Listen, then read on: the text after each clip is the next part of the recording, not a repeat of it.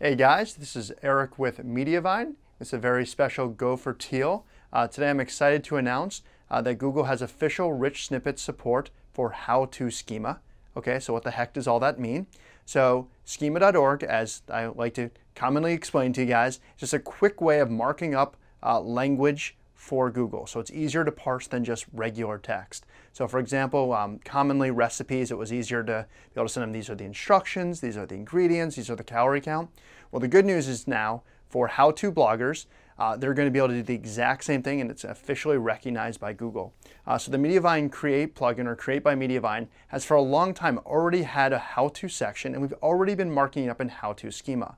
So the big difference now is that Google has official rich snippet uh, support for it, which means now Google is going to give special search results uh, for how-to bloggers. So who are how-to bloggers?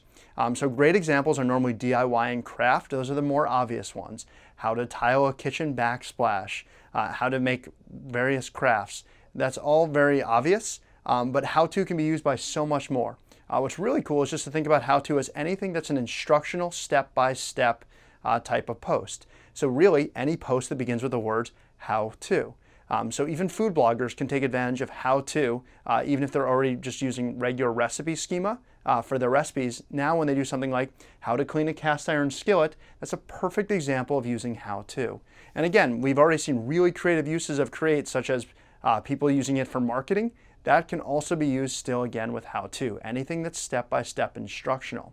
Uh, and Create already has this built in, uh, but we're releasing a new patch uh, today, actually at the time of this video, it should already be out, uh, that's going to make sure that everything is marked up perfectly. So when you test things in the Rich Snippet testing tool uh, or the Rich Snippet preview, uh, you're going to see what your results can look like, and they look incredible. Uh, you're going to get nearly three times the screen real estate by using these how-to schema, putting you way ahead of the competition. And again, this just came out uh, yesterday. Google made the announcement. Create has the update today. Uh, so if you're already doing this, you're way ahead of the competition. Um, so if you're not currently using Create, definitely you should give it a download. It's a WordPress plugin. It's completely free for all bloggers, not just Mediavine bloggers. Uh, it's optimized for page speed and ads.